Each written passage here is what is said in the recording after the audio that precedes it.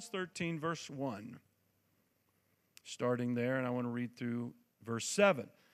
Let every soul be subject to governing authorities. Now, you have to pay close attention to what I want to share with you tonight and close attention to what the Apostle Paul is writing here because it is many times misunderstood, and that's unfortunate. For there is no authority except from God, and the authorities that exist are appointed by God. I'm going to explain that. Therefore, whoever resists the authority resists the ordinance of God. And those who resist will bring judgment on themselves.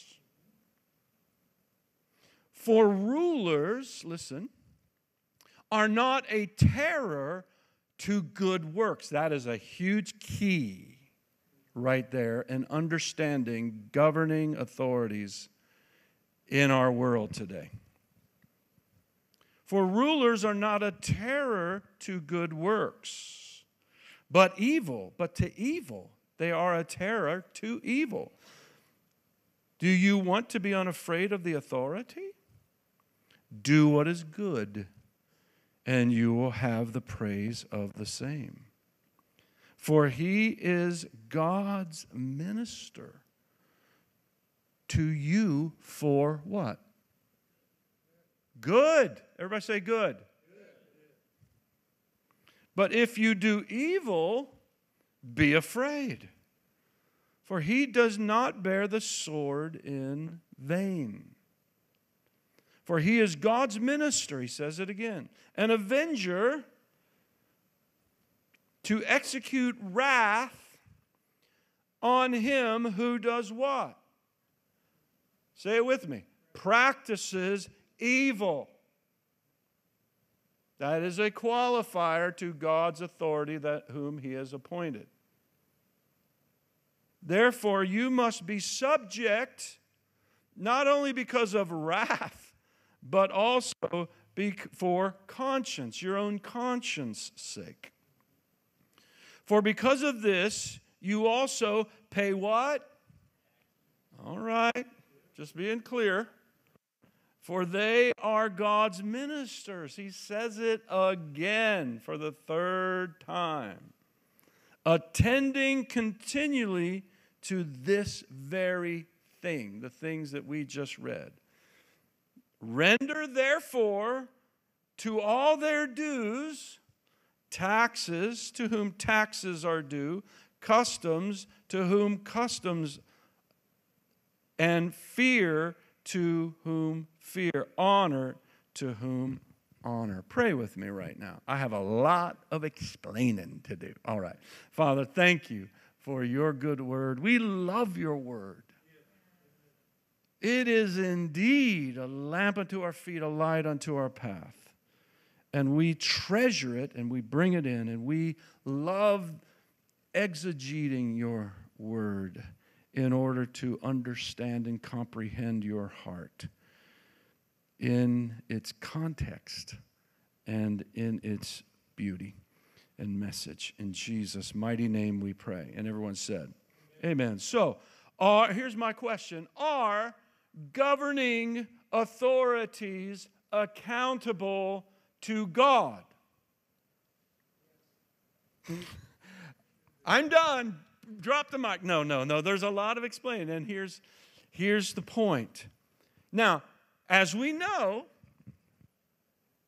you know, when, when we like a certain politician, you know, we think they're from God. We think that other ones are not from God. But we have to be careful as to understand what the Word of God says and, what, and how God determines governing authorities. Which ones are legit and which ones are not. And so, we have to look at this important question. God desires, now let me qualify a few things and let me share a few things in, in light and in the introduction of this. God desires that you and I live with a clear conscience. That's for sure. That's what we definitely read here among the citizens of our nation, right? And have a clear understanding, listen, that He is both, that God is both transcendent over the nations, yet absolutely immanent among the authorities of the nations. What do I mean by that? That he is sovereignly over, he is sovereign judge, and he is actively involved in those in the lives of those who are leaders of nations. They may not know him, they may not care to know him, but God knows them. And God is holding them accountable for how they treat the masses of people under their authority. And so, again, let me ask you the question Are governing authorities accountable to God? And the answer is yes. And this is why. And this is, you won't read this in this passage, but I want to expound a revelation that is very clear in this passage. Yes, they are accountable to God if God has appointed them, if they are appointed by God, then they are most definitely accountable to God, whether they know it or not. How many understand what I just said? I got two people. How many under, I'll, I'll repeat it. So, if they are appointed by God, then they are accountable to God. Does that make sense? Just like I am appointed by God and I am accountable to God. Whether they know it or not, they are accountable to God.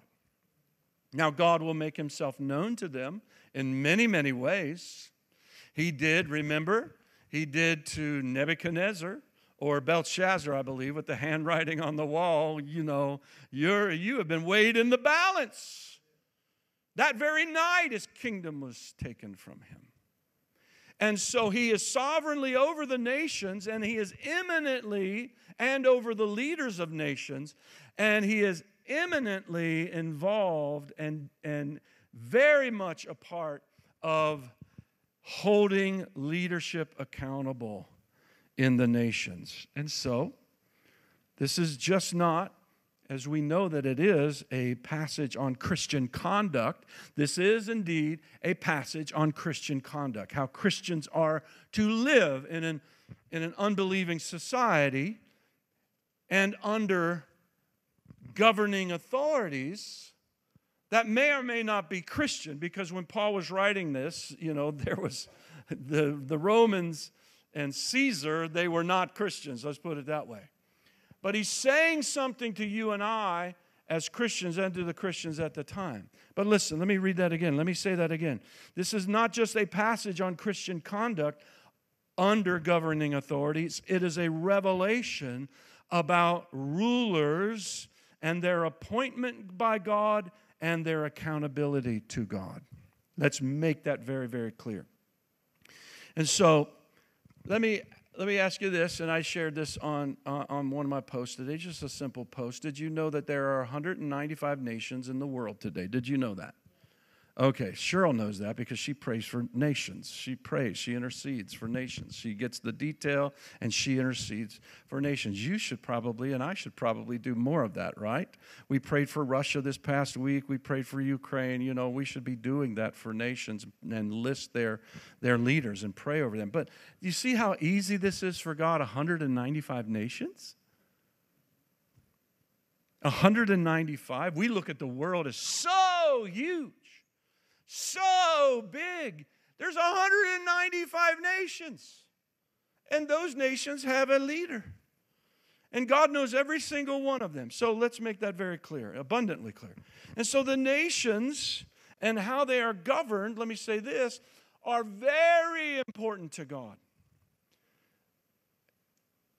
So important to God that He sits as judge over the nations. Now, let me explain a little bit of background here. In the beginning, God gave mankind dominion over the earth, correct? He told mankind to subdue to subdue the earth and make it produce the blessing he intended for mankind. That was his that was his heart. He wanted mankind to subdue it and create the blessing, to manage the earth, right? And to and to make it produce for the people that would be multiplied. And so, as mankind multiplied, nations of people were formed, kings and kingdoms rose. Until today, and all throughout history, we see this kingdoms rising, kingdoms falling. We see this, we see it in the Bible, it's throughout uh, human history.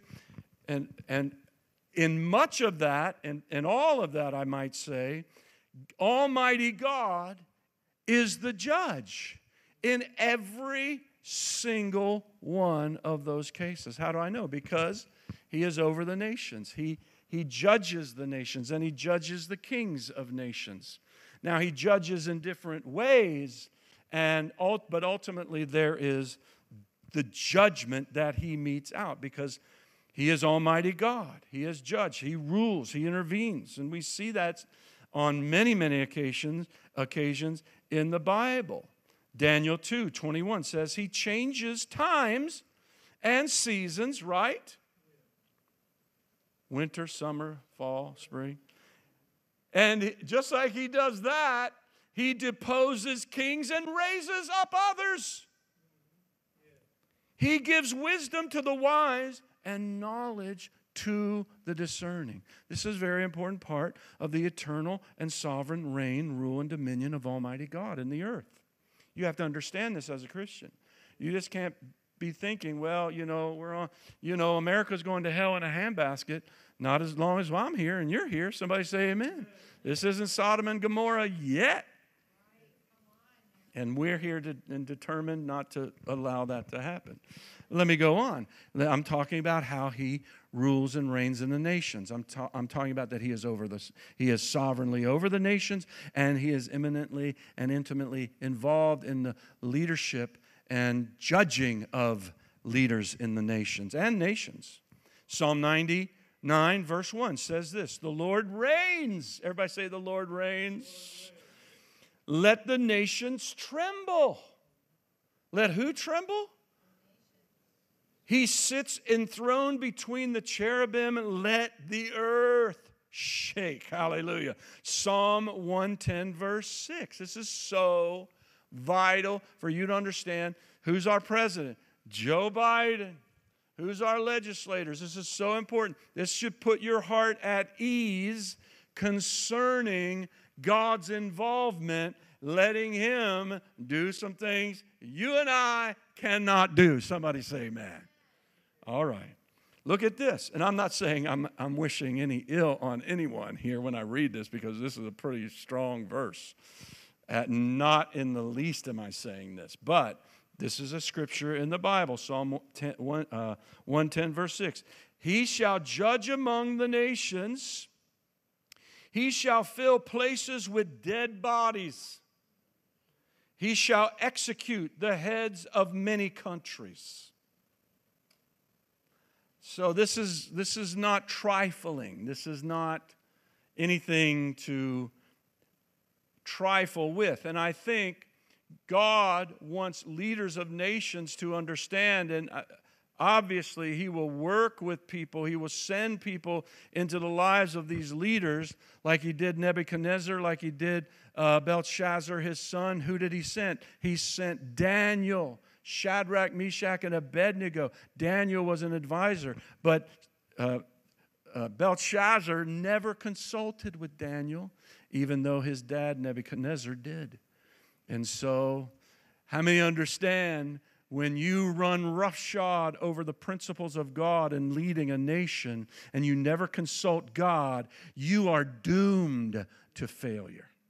Doomed to failure. God will save the people, but as a leader, you are doomed to failure.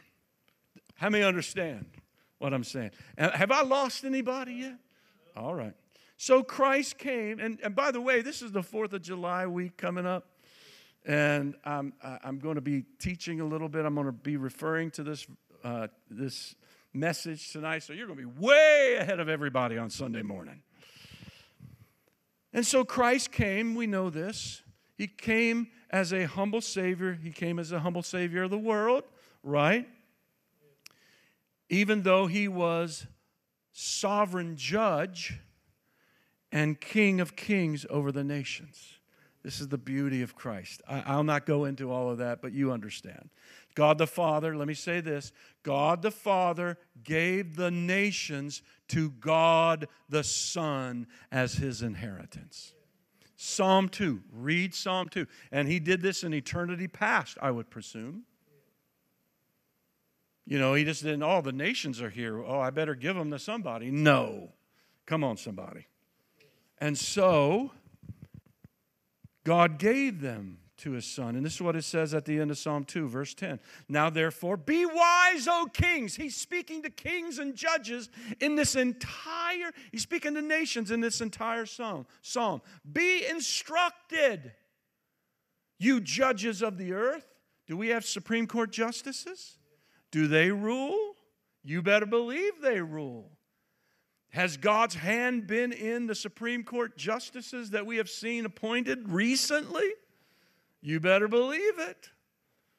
I'll not go into that one, but boy, did we see some things happen right there at the end of President Trump's president, his first term. It goes on to say, Serve the Lord with fear. He's speaking to kings and judges. Serve the Lord how? With awe and reverence and rejoice with trembling. Kiss the Son. Be affectionate. When you hear the name of Jesus, be affectionate, be open, be humble, lest he be angry. See, he doesn't judge us like he judges the nations. There's a different judgment there. We are under the blood. Somebody say amen. And he saves people, convicts them. Ultimately, if they reject him, yeah, they'll experience the judgment of God lest he be angry and you perish in the way when his wrath is kindled but a little. Blessed are all those who put their trust in him. Somebody say amen. So he's speaking to kings and judges of nations here and nations. Not only can Almighty God, who rules in the courts of heaven, we had a we had a great lesson uh, in our last Healing Rooms conference about the courts of heaven. Wow, was it good! Um, but not only is he ruling there uh, to raise up kings and authorities and rulers, he can also sovereignly dethrone them. Right? We know that. So let me give you a few more examples. Remember Pharaoh in Egypt? Did he dethrone Pharaoh? I think so. What about Belshazzar, as I said, of the Chaldeans, right? King Saul. He dethroned him and brought in King David. Now, sometimes this process takes years, but how many know God is so gracious? He is so good. He wants people to repent. I mean, he doesn't want to just have to ha- appear with a handwriting on the wall and just say, It's over, pal. You didn't listen to anything I said. Tonight it's done. Right? So the question is this is God still the Almighty Sovereign Judge and ruler over the nations today? My dad is on fire tonight. Hallelujah. You better believe he is. I mean, he doesn't act, you know, as hastily as we would sometimes, but sometimes it's even quicker than we would. And so, what does Romans 13, verses 1 through 7, reveal about the rule and judgment of God in the nations and the reverence both leaders and citizens should have for him and for his righteous judgment. It reveals a lot. Everybody say it reveals a lot. That's the question we should be asking ourselves from Romans chapter 13, verses 1 through 7. So, in light of that passage, how do you feel about our nation? Amen. You don't have to answer, just I want you to think about it, but I appreciate it. I love you, Dad. And I love our nation. You should love your nation. And I'm going to be preaching on that on Sunday. And so I want you to hear that. It doesn't mean we don't love God, it just means that we can do both. And we can, the Bible talks about in Jeremiah, seek the peace of the city where you are at. In other words, the city state. Cities were basically countries at that time. And so, anyway, and in light of this passage, how do you feel not only about our nation, but our nation's history? There's some real, real dark things about our nation's history. And how do here's the questions. I'm just I'm just I just had a bunch of questions I wanted to read for you. How do you view the birth of this nation? The Revolutionary War. Remember that? How many learned about that in, in high school? In light of this passage, how do you feel about the 4th of July?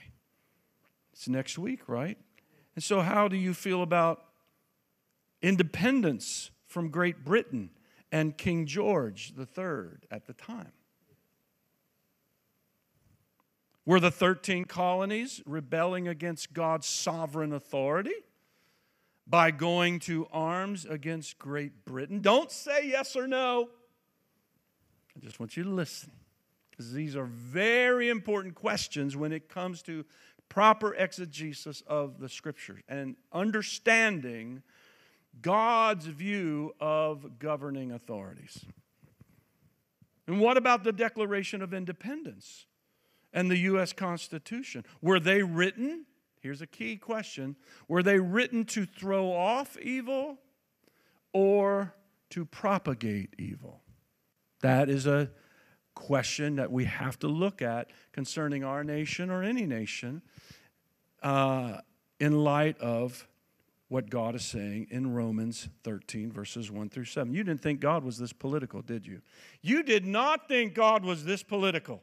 I know you did not. No, you did, because I, I teach you better than that. How did, not political, he is the governor. He, he governs the nation. The government is upon his shoulders.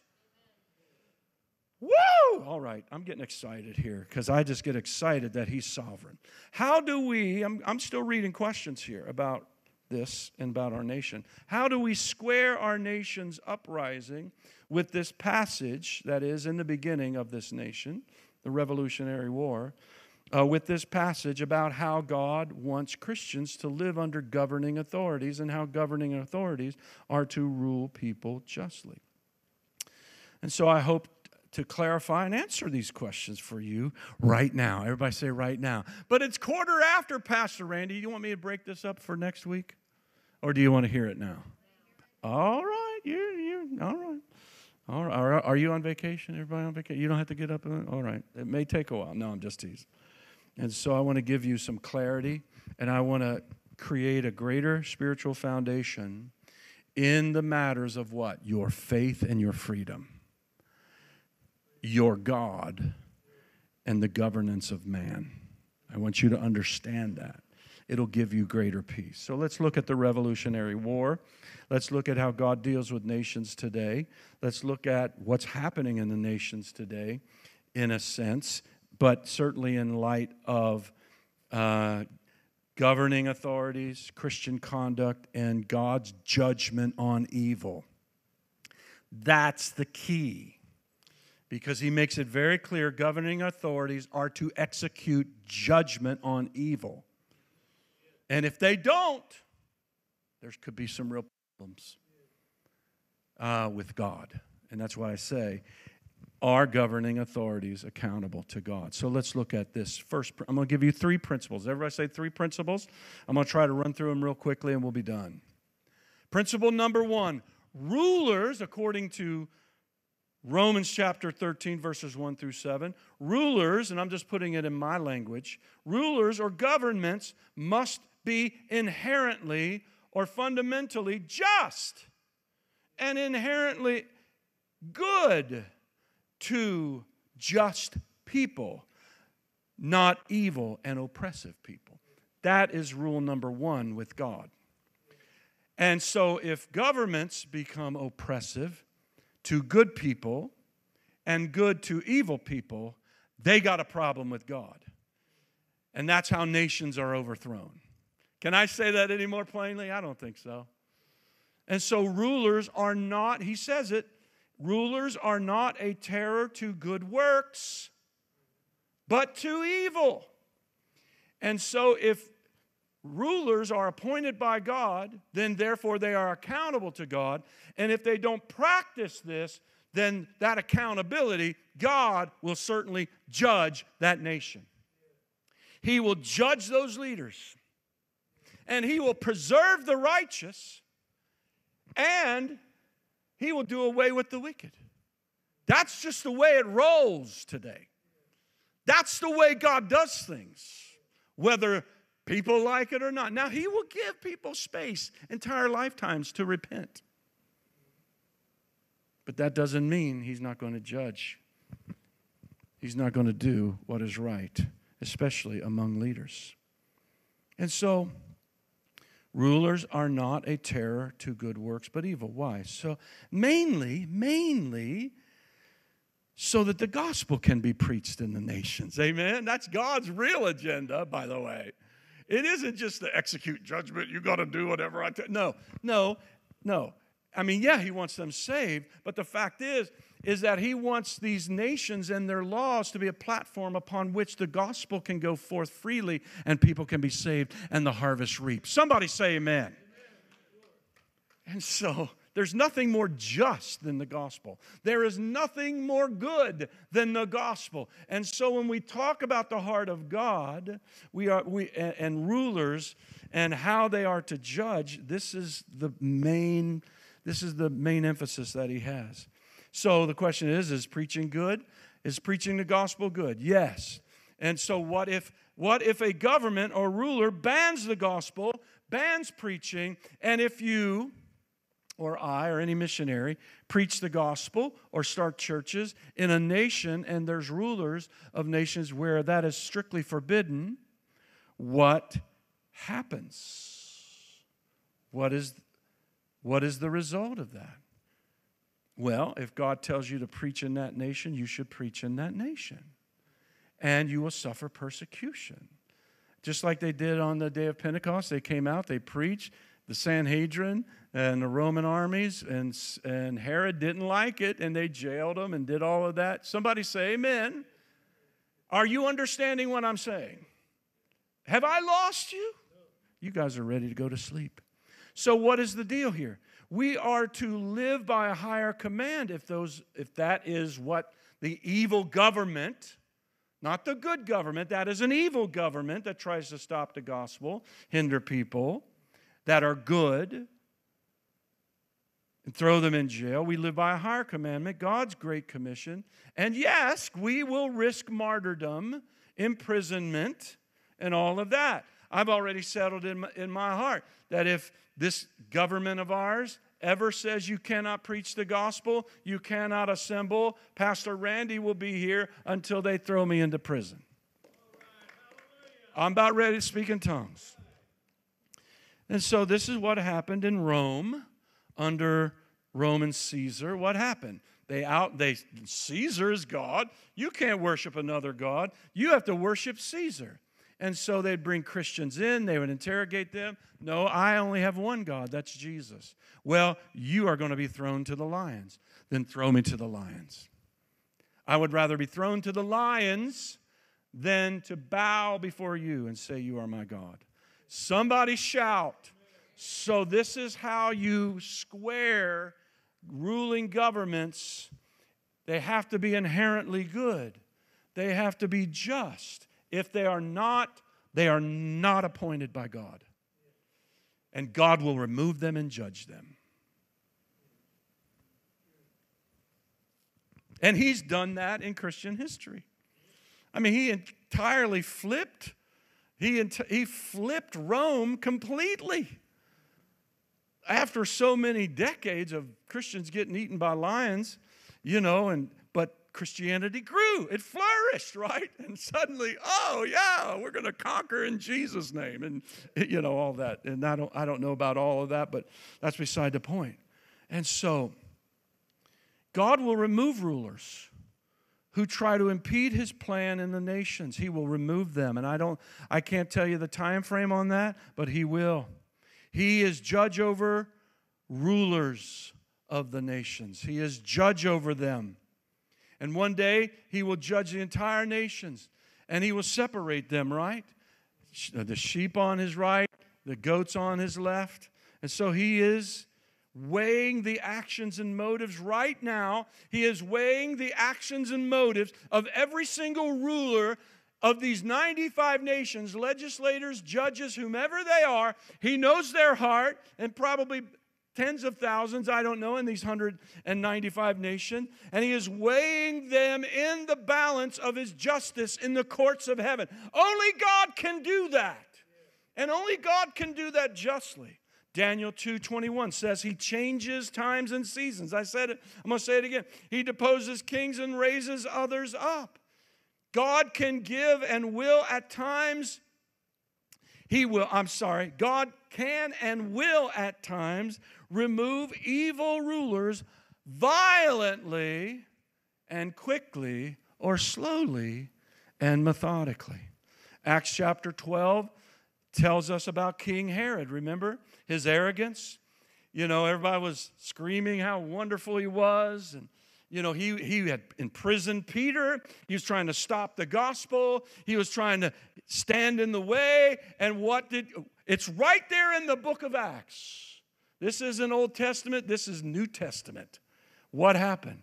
He tried to oppress and he tried violent action against Christians, against Peter. And guess what? The judge of the nations came and what did he do in Acts chapter 12? Anybody remember what happened? Smote him on the spot. Sent an angel, smote him on the spot. It's pretty gruesome. And so, right now, nations are being judged, nations and people are being removed. And it may be that a more evil ruler is raised up because it's the people's responsibility to make sure good rulers rule. And if the people aren't willing to fight for their nation to elect good rulers, then guess what? Evil is going to prevail. And some of you have seen it in your nations. I talk to missionaries all the time. I talk to nationals all the time. The reason why evil rises up is because the people get oppressed and scared. You have to be willing to die for your freedom so that your children and grandchildren will have a better life. We have to be able to do that. We have to make that decision. No, I'm not going to live in this nation forever, but I trust that God loves the nations and wants me to fight in a good way, in a Christian way, right? For our nation. All right. What do we see in Matthew 25, verses 31 through 46? We see the nations being judged by Jesus in the millennial reign. So he is judging nations, and we see that. Rulers, let me rehash. Number one, principle number one rulers or governments must be inherently just in God's sight and inherently good in God's sight to just and good people, not good to evil and oppressive people, or else God will judge those leaders. Is that clear? Number two, everybody say number two. I'm going to be quicker this time, I promise. Number two, rulers or governors, governments, rulers or governments must punish evildoers according to Romans 13, verses 1 through 7, allowing good citizens and the nations to flourish. This is God's plan. Without fear of evil, to live in peace and prosperity. That is a principle of God.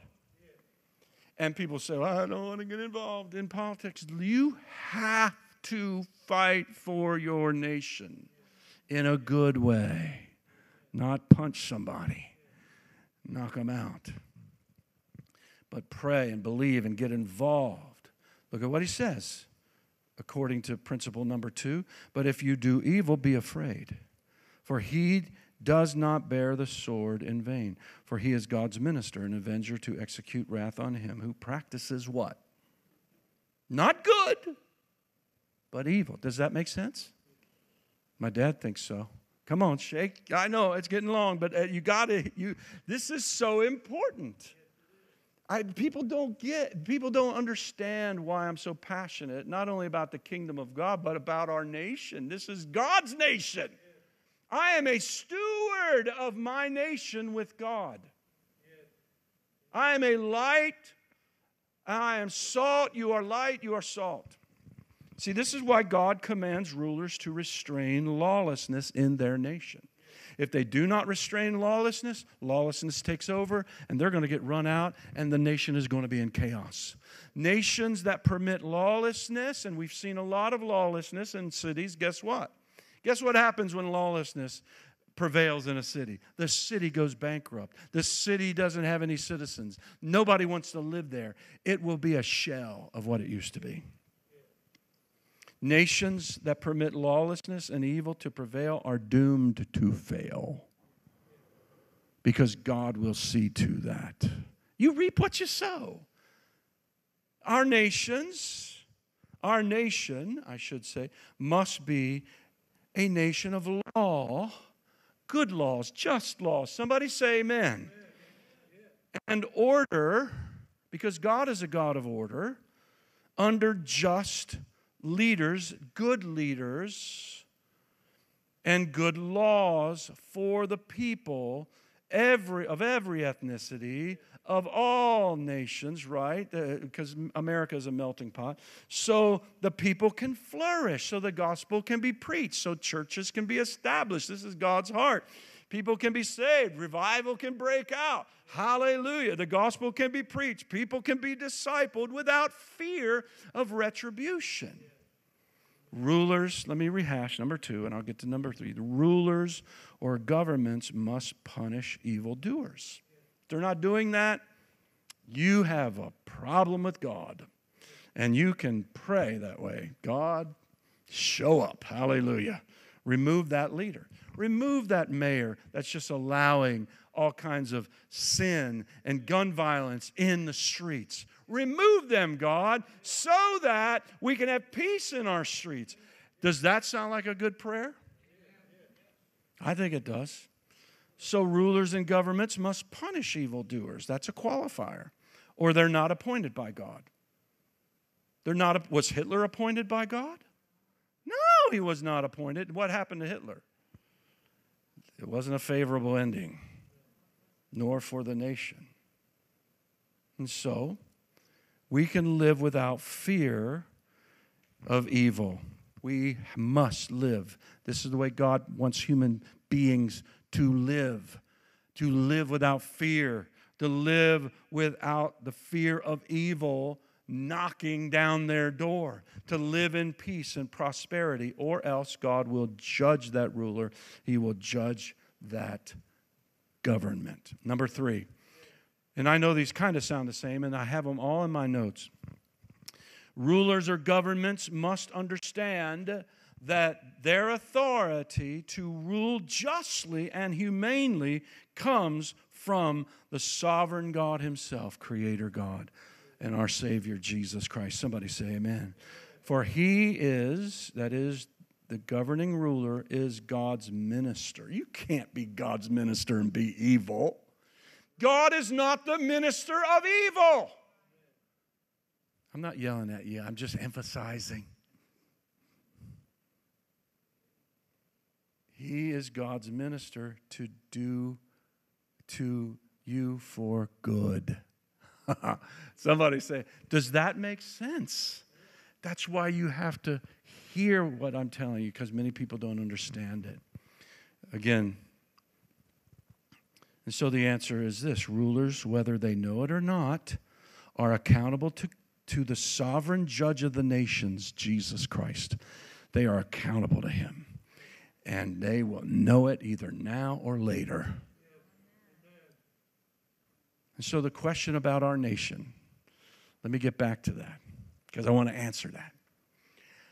How do you feel about the Revolutionary War? What about the Declaration of Independence and the U.S. Constitution? Were they written to propagate evil or to throw off evil? Were the 13 colonies rebelling against God's governing authority? How do we square this uprising in light of this passage? Were they perfect people? Absolutely not. Did they do a lot of things? Nobody's perfect. And, and eventually we corrected a lot of problems as a nation, but it took us a hundred years. I mean, come on, people. We ran the risk of our nation crumbling at its very core because of the arrogance and evil people wanting to lord and put others in slavery and do critically evil things against others. Wow, did we ever run a risk as a nation? I just want you to know how precarious our nation was in the balance during the Civil War and all of that. And so, was the Revolutionary War conducted to overthrow evil at the time? Was the Revolutionary War conducted to create a more godly and just government for people? Well, let me give you some answers there, and I'll close. Come on up here, Dave. I need a little background music because this is heavy. I hope you've enjoyed it. I've never preached through this passage before, so there you have it. But here's my answer. This is my humble. This is just my humble feeling about it. In light of everything that I've taught you tonight, I feel the forming of our nation was not only worth fighting and dying for to establish, and to establish a new government as we know it today. And as I said, yeah, it took a long time for people here on, with us, many millions of people, to experience that freedom. But thank God we got it right finally. That being said, God knows the end from the beginning. But it was worth fighting and dying for to establish. It's worth fighting for and dying for now for this government, that new government, then to throw off tyranny.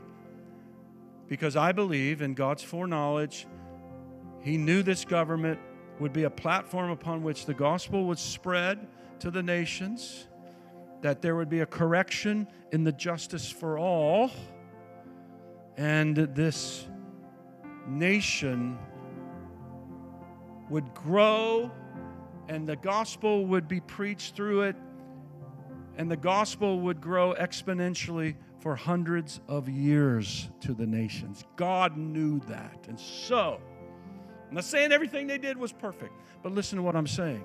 They threw off tyranny, though they were terrorizing others. It's just, I can't, I don't know it all. I wish I did.